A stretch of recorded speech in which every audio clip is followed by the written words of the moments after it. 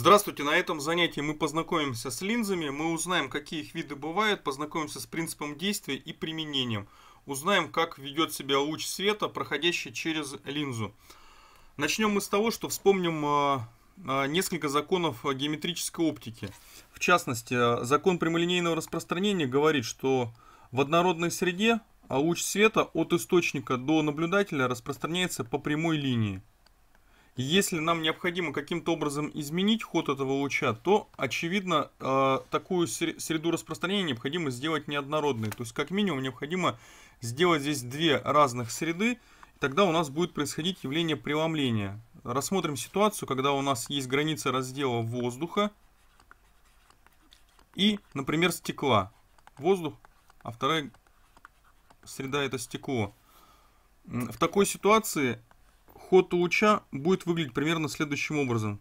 То есть после прохождения границы раздела направление распространения светового луча изменится. При этом э, здесь картинку можно достроить следующим образом. К точке э,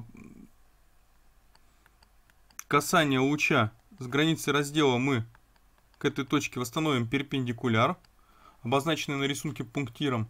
Дальше мы обозначим угол падения альфа и угол преломления. Оба угла отсчитываются между лучами и перпендикуляром. А, напомним, закон преломления он выглядит следующим образом. Отношение синуса угла падения к синусу угла преломления равняется относительному показателю преломления а, данной, а, данных двух сред. Если мы рассмотрим ситуацию, когда у нас на границу раздела падает пучок параллельных друг другу световых лучей, то после преломления каждый из лучей изменит свое направление, но они также останутся параллельными друг другу. А, то направление, по которому они могли бы распространяться, если второй среды не было, я обозначил здесь пунктиром, желтым цветом. Итак, мы видим, что при такой ситуации лучи также останутся параллельными друг другу, и если мы хотим изменить их относительный ход, а, необходимо тогда изменить форму поверхности. В частности, мы можем рассмотреть а, преломление на а, вот такой вот, например, среде, на такой вот границе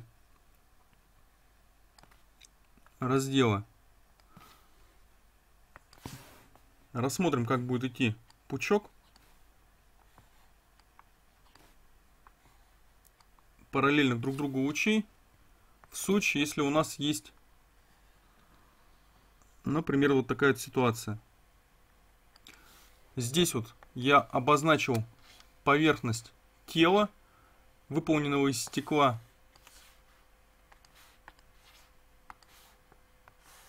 Очевидно, это и есть линза. То есть под линзой подразумевается прозрачное тело ну, в большинстве своем, в простейшем случае, тело ограничено с двух сторон сферическими поверхностями. Хотя на самом деле линзы бывают не только сферическими, но и цилиндрическими, ну и всяких различных более сложных форм. Ход лучей определяется здесь следующим образом. Проследим за ходом каждого из лучей. Для этого мы должны в точке соприкосновения луча с поверхностью построить перпендикуляр к этой поверхности. Обозначить здесь углы падения. По закону преломления вычислить углы преломления и сделать следующее построение. А, луч, который падает вот таким вот образом, что угол падения равен нулю, после преломления не изменит своего направления и будет двигаться также прямолинейно. Дойдя до границы раздела с другой стороны, он также пойдет прямолинейно. Первый луч преломится следующим образом. То есть угол преломления уже будет меньше угла падения. Далее на второй границе раздела происходит выход луча из более плотной среды в менее плотную.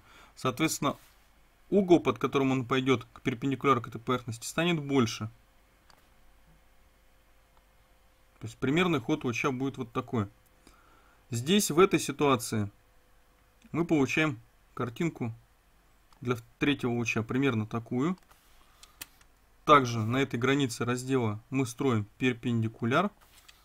Также вычисляем угол, под которым он выходит. Он будет больше. И получается примерно такая ситуация.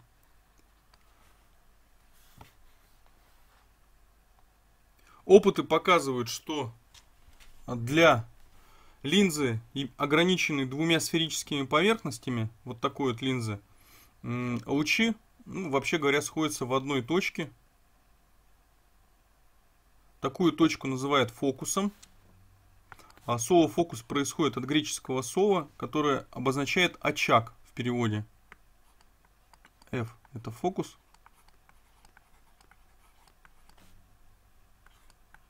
Очаг по-гречески. Ну, очевидно, что этим свойством можно пользоваться, например, для разжигания э, каких-то предметов, если воспользоваться солнечными лучами.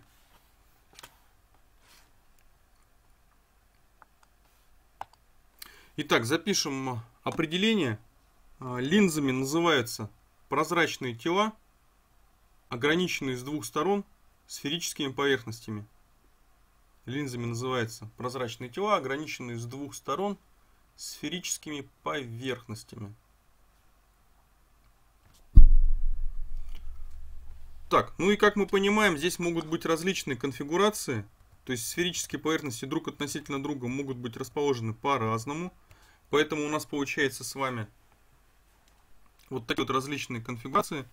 То есть, в частности, одна из поверхностей может быть плоскостью, и тогда мы получаем двояко выпуклую, выпукло, плоско выпуклую линзу, выпукло вогнутую линзу, двояко вогнутую линзу. Здесь мы получаем плоско вогнутую линзу и выпукло вогнутую линзу.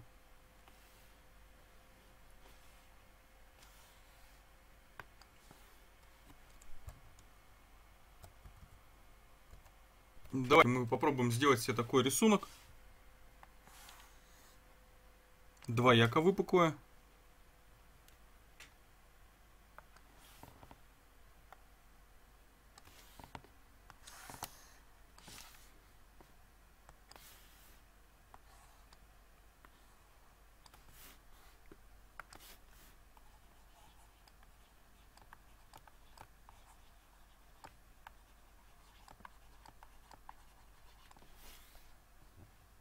Следующий вид, как мы увидели, это будет выпукло вогнутое,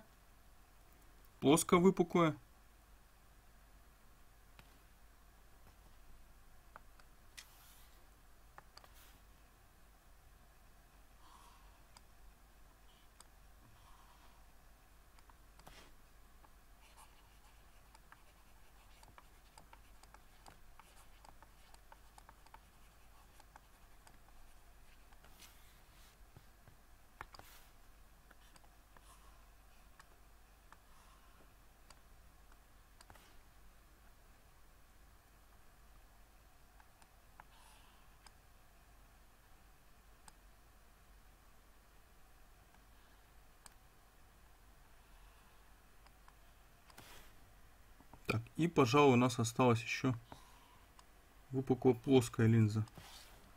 Итак, вот мы рассмотрели несколько видов линз. Если двояко выпуклая линза является однозначно собирающей, как мы с вами выяснили, то к собирающим линзам также будет относиться плоско выпуклая линза. Она также собирает лучи в одной точке. Вот, а все остальные перечисленные линзы обладают другим свойством. Они, наоборот, являются рассеивающими. Давайте посмотрим ход лучей в рассеивающей линзе. Для этого мы изобразим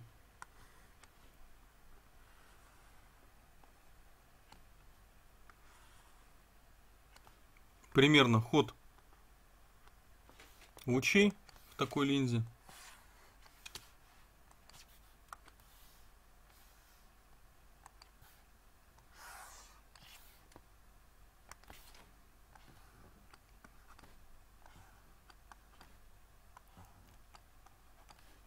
Опять-таки, луч, который проходит а, примерно относительно оптического центра линзы, относительно точки симметрии этой линзы, он обладает тем свойством, что падает под углом 0 градусов и, соответственно, не преломляется.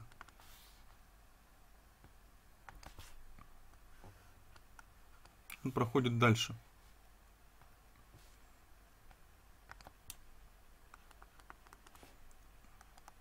Для двух других лучей, первого и третьего, ход будет примерно следующий.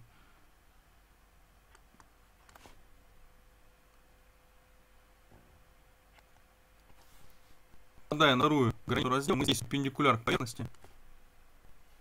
Снова перпендикуляр к поверхности. И определяем ход лучей. Угол увеличивается, и мы видим, что такие лучи расходятся. Здесь можно сделать некое дополнительное построение. То есть посмотреть, как будто бы эти лучи вышли из какой-то некой точки.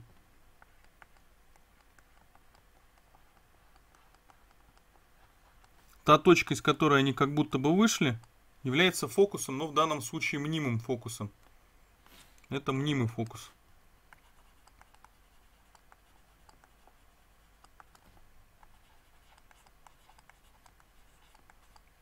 Итак, значит, на первой картинке у нас представлен ход лучей в собирающей линзе. На втором рисунке показан ход лучей в рассеивающей линзе. А еще интерес представляет, например, рассмотреть ход луча, который а, проходит где-то рядом от оптического центра.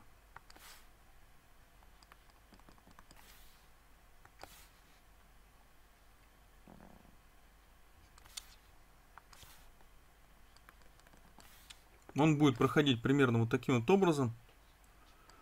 Из соображений симметрии здесь получается, что угол на входе и на выходе будет одинаковый, а луч, сути, просто-напросто смещается на некоторое расстояние. Причем это расстояние будет зависеть от толщины линзы. Если мы будем пренебрегать толщиной линзы, то можно считать, что луч, проходящий через оптический центр, проходит без преломления. А как можно определить положение оптического центра линзы. Как было сказано, линза это прозрачное тело, построенное, ограниченное двумя сферическими поверхностями. Давайте представим себе эти сферические поверхности. Первая сферическая поверхность имеет центр в точке О1. Вторая сферическая поверхность имеет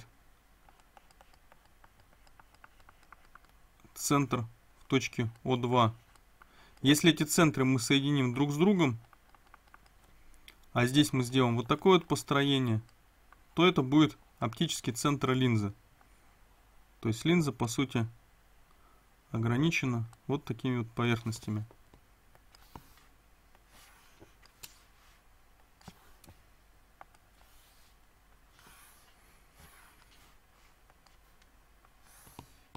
Итак, мы выяснили, как, как идет ход лучей в линзе, мы выяснили, какие виды линз бывают. Давайте посмотрим следующие вопросы.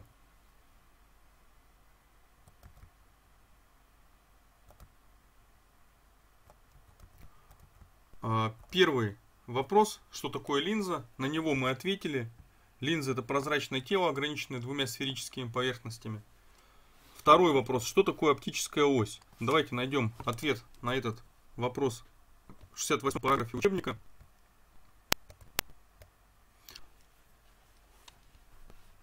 Здесь дано следующее определение. Прямая АБ, проходящая через центры сферической ограничивающих линий, называется оптической осью.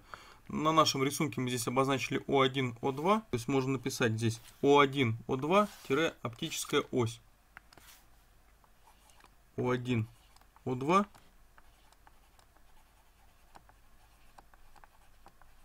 оптическая ось, тире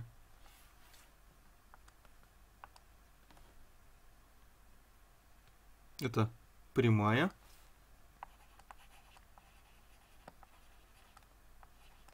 Проходящая.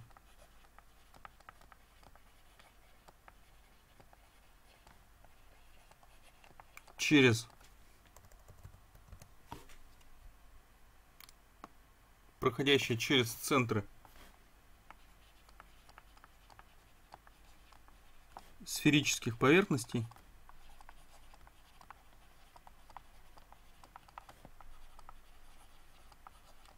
которыми ограничена линза.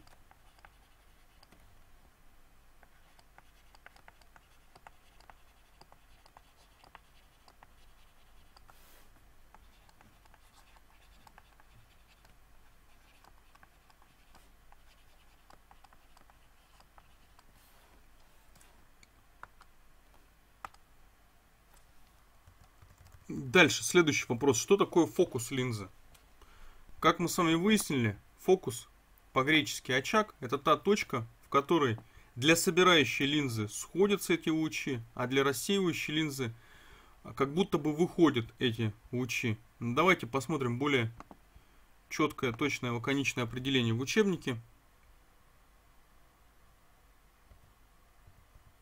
Значит, мы видим, здесь сказано следующее. Направив на выпуклую линзу пучок лучей, параллельных оптической оси линзы, мы увидим, что после преломления в линзе эти лучи пересекают оптическую ось. И эта точка называется фокусом. Можно дать такое определение, что фокус это точка, в которой сходится параллельный пучок лучей.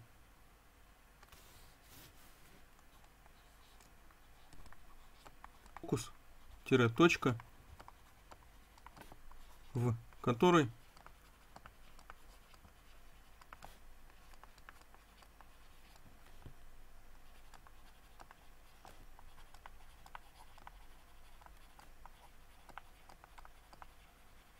параллельный пучок лучей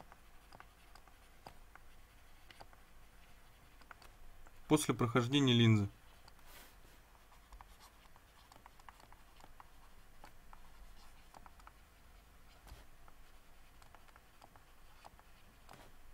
Это верно для линзы собирающей.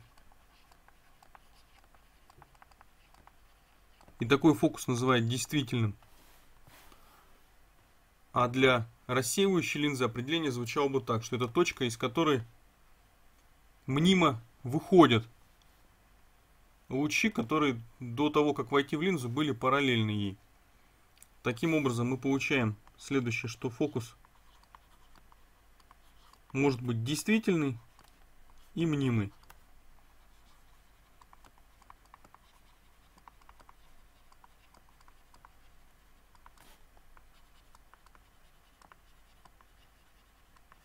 Действительный у собирающей линзы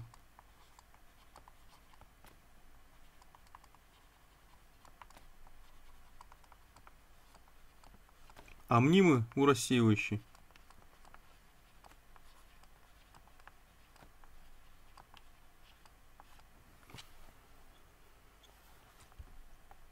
Дальше, следующим будет определением так называемое фокусное расстояние. Фокусное расстояние – это расстояние от оптического центра линзы, от оптического центра линзы до точки фокуса. На этих рисунках это отрезки ОФ. ОФ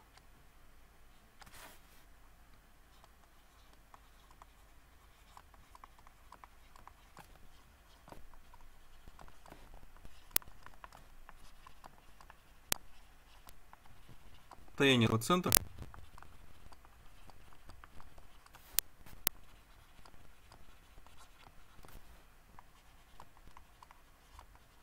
до ее фокуса.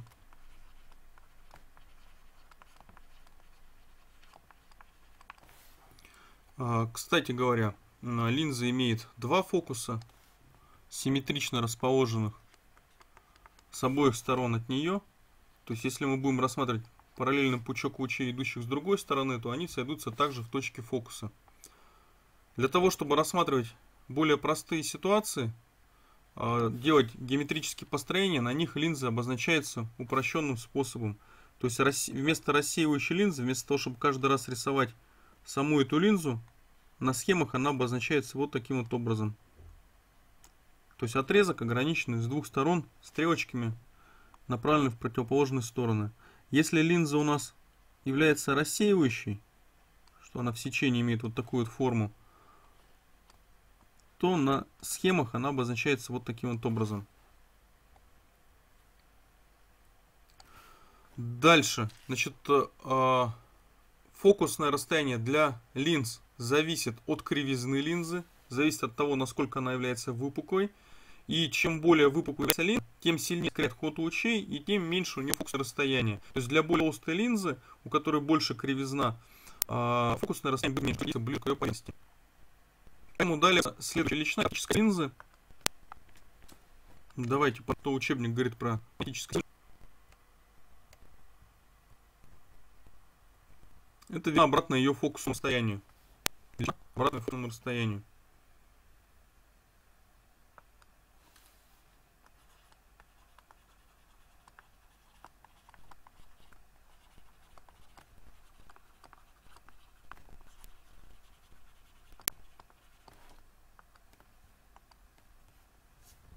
Отлично. Обратно ее фокусному расстоянию. Формула будет следующая. Здесь под обозначена уже не точка фокуса, а именно. То есть у нас в рисунке это отрезок ОФ. То есть его обозначает просто буквой F большое.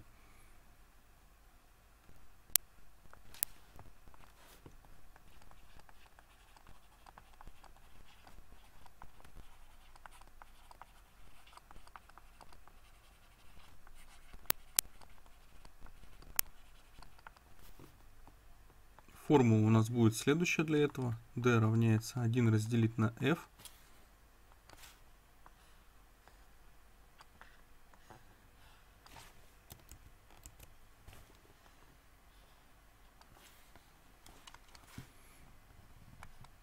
Если фокусное расстояние измеряется в метрах, то оптическая сила измеряется в такой единице измерения, которая называется диоптрия.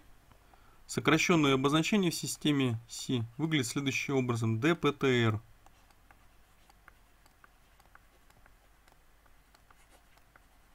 Диоптрия. То есть, в частности, если у нас есть линза, у которой фокусное расстояние 1 метр, следовательно, и оптическая сила такой линзы будет 1 диоптрия. Если, например, у линзы фокусное расстояние составляет 20 сантиметров, то есть 0,2 метра, следовательно, оптическая сила будет составлять 1 разделить на 0,2, значит это будет 5 диоптрий. При... Точка здесь не ставится в конце. А, при этом у линз а, собирающих оптическая сила берется со знаком плюс, так как фокус у нее действительно считается а у мнимых, а у линз рассеивающих с минимум фокусом оптическая сила берется со знаком минус.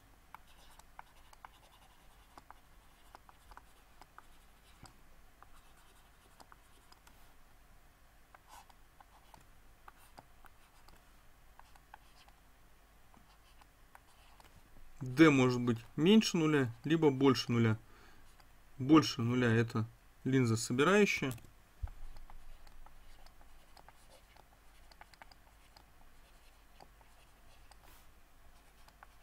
Это линза рассеивающая.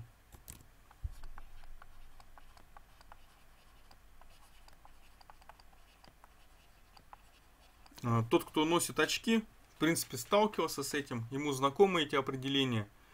А, у кого есть проблемы с следующего вида, при близорукости а, для корректировки носят очки с линзами рассеивающими, имеющими отрицательную оптическую силу. Ну и люди говорят там минус полторы диоптрии, минус две диоптрии, минус три и так далее. А у кого дальнозоркость, те, те для корректировки носят линзы с положительной оптической силой, и у них, соответственно, там будет плюс один, плюс два диоптрии, диоптрии и так далее.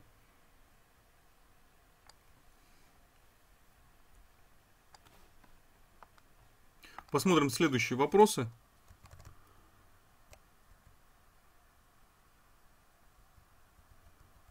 Почему в собирающей линзе параллельные лучи сходятся к оптической оси? Значит, ну, это связано с явлением преломления, происходящим на одной а, поверхности и на второй. Как мы видели с вами по построению, по первому нашему рисунку, мы видим, что после преломления на каждой поверхности угол, под которым шел луч, становится меньше. То есть он уменьшился в первом случае. Во втором случае он увеличился относительно перпендикулярно, но направление луча а, продолжило отклоняться в этом же направлении. А для луча третьего, как вот здесь обозначено, его отклонение происходит именно таким образом. То есть получается а, отклонение лучей в сторону оптической оси происходит именно из-за того, что поверхности являются выпуклыми, выпуклыми таким образом.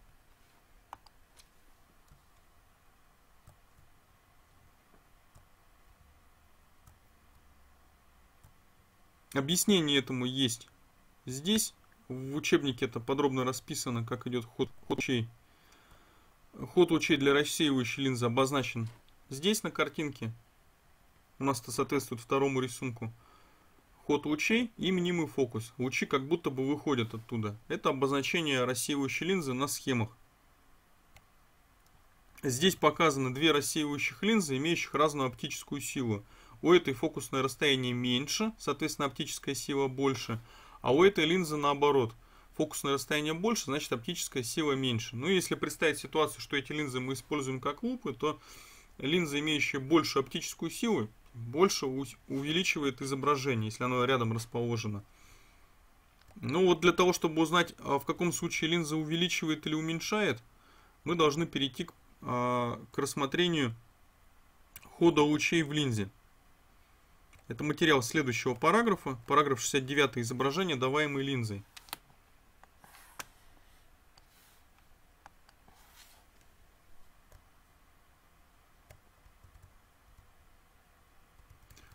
А, давайте мы посмотрим.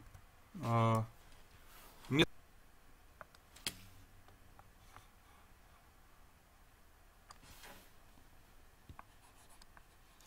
Запишем все изображение даваемой линзы или получаемой с помощью линзы.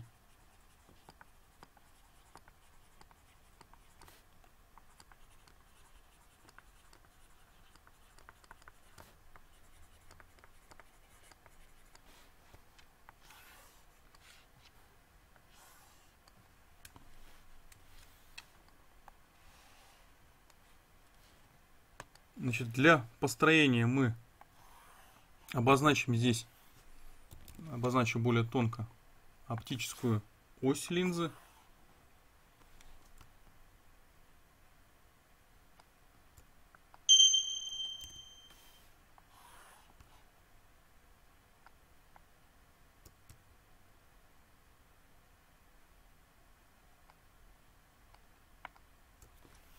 Обозначим саму линзу.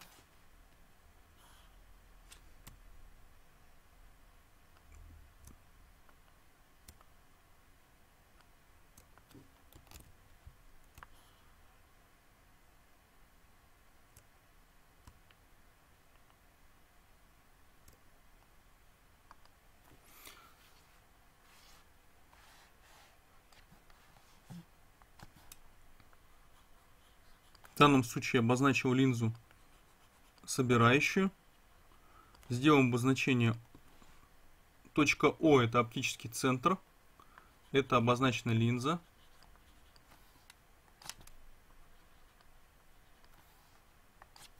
Это обозначена оптическая ось. Еще называют главная оптическая ось.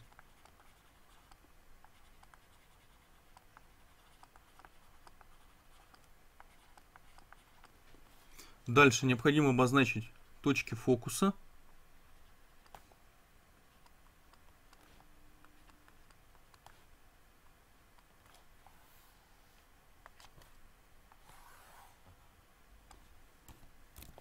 Рассмотрим несколько ситуаций.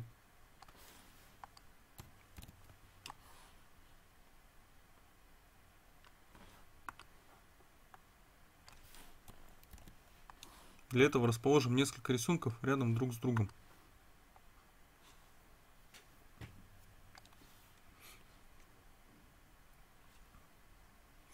И сделаем здесь еще такое вот построение для линзы рассеивающей.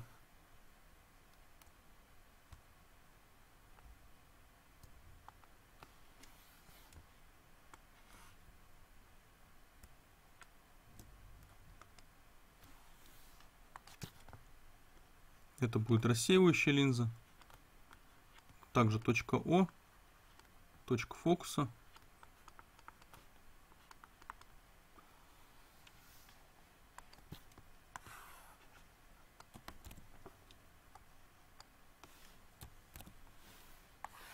Такие построения, естественно, удобно делать с помощью линейки в тетради. И удобно расположить рядом несколько таких построений. Итак, рассмотрим а, следующий ход нескольких лучей. Для начала рассмотрим пучок. Ход пучка мы уже знаем, как он идет, мы не будем здесь повторяться. Мы рассмотрим ход лучей от, э, от объекта. При этом рассмотрим такую вот ситуацию. Значит, здесь интерес представляет э, лучи от объекта, который расположен на разном расстоянии от линзы. Характерные точки здесь будет фокус и удвоенный фокус.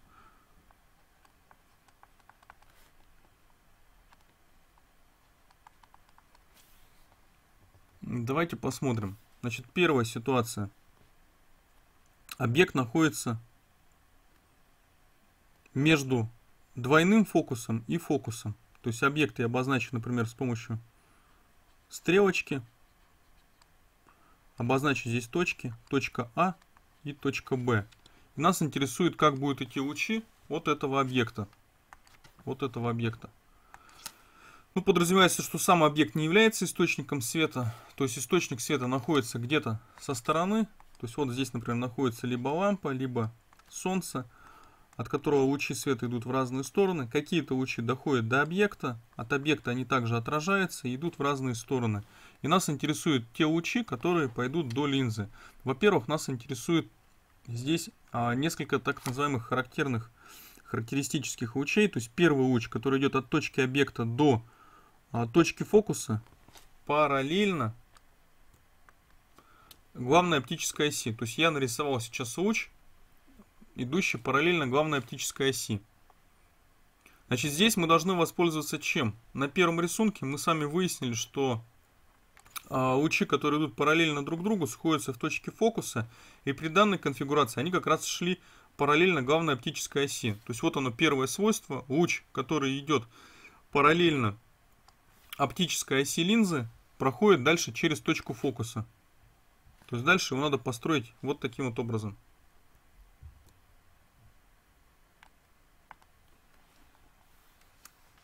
Стрелочкой я укажу направление хода лучей.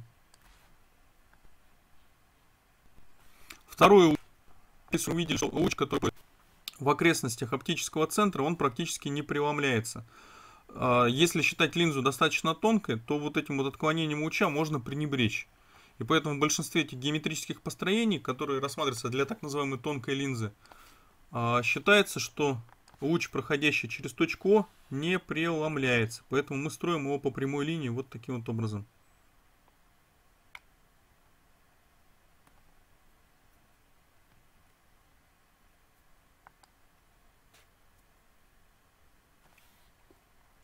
Значит, мы увидели, что эти два луча, они пересеклись в некоторые точки. При этом, если построение вы делали у себя э, в тетради аккуратно по линейке, должна получиться следующая э, ситуация. Точка B, которую я здесь обозначил, перейдет в точку B', а точка А перейдет в точку А'. На самом деле мы построили лишь два луча, которые соответствуют э, лучам, испущенным из точки B. Для точки А такое построение тоже можно было бы сделать. Но на самом деле здесь строится построение последовательно для, не, для нескольких точек объекта. И из соображений симметрии получается, что если объект был перпендикулярен э, главной оптической оси, то его изображение тоже будет перпендикулярно. Вопрос, что означает изображение, что оно из себя представляет? Естественно, в воздухе никак мы не можем увидеть. То есть изображение можно увидеть, если вот здесь, в этом месте расложить, вот здесь вот расположить э, экран. То есть, предположим, мы расположили здесь бумаги, вот в эти положили лист бумаги. Тогда на листе бумаги мы можем увидеть четкое изображение этого объекта в пространстве, естественно, ничего мы не увидим.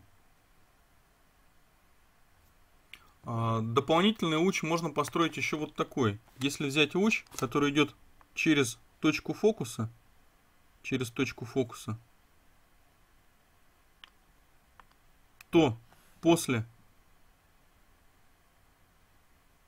а, преломления в линзе он пойдет параллельно главной оптической оси. Ну, как мы видим, это следует из принципа обратимости лучей, что вот такой вот третий луч, который я нарисовал, третий, третий луч, он соответствует тому, что если бы луч шел параллельно главной оптической оси, то после прохождения линзы он прошел бы через точку фокуса. Итак, вот мы изобразили три характерных луча.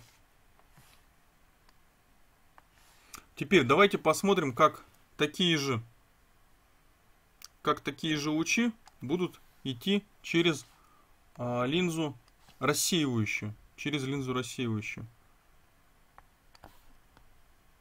Построим здесь объект. Допустим, между точкой фокуса и двойного фокуса.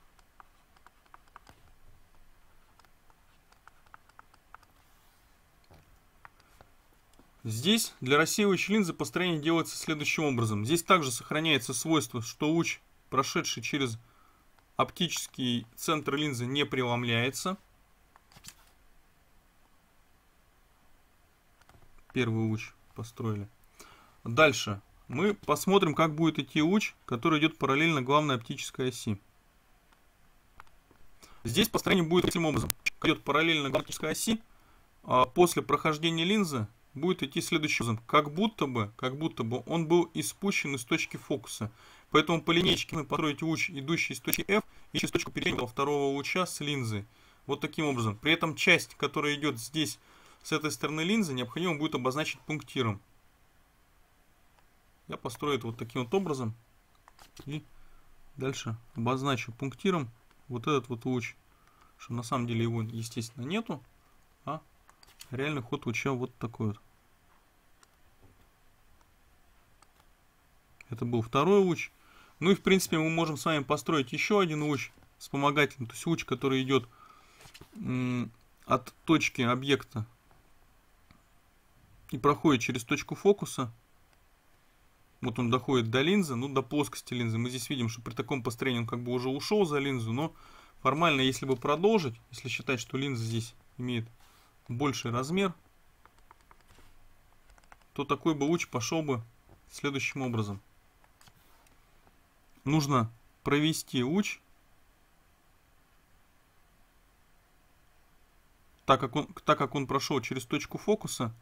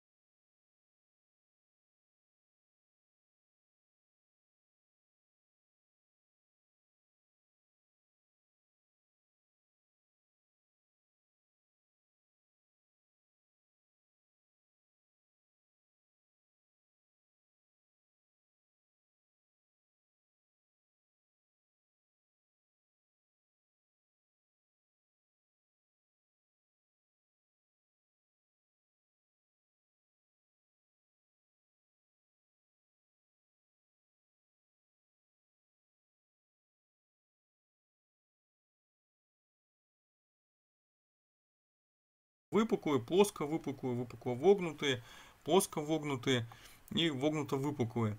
Дальше мы познакомились с определениями, что такое оптический центр, оптическая ось, фокус, виды фокуса. Они бывают действительно мнимые, действительно у собирающей линзы, а мнимые у. Мы познакомились с тем, что такое фокусное расстояние и оптическая сила, измеряемая в диоптриях. И мы познакомились с тем, как строится ход лучей в линзах. А, рекомендую построить ход лучей для объектов, находящихся в разных положениях, например, до фокуса, в точке фокуса, в двойном фокусе и за двойным фокусом. пользуясь тем, что луч, проходящий параллельно оптической оси, проходит через фокус, а луч, проходящий через оптический центр, не преломляется. То есть можно самостоятельно построить ход лучей для этих нескольких ситуаций и сделать выводы. На этом я закончил. Всего доброго, до свидания.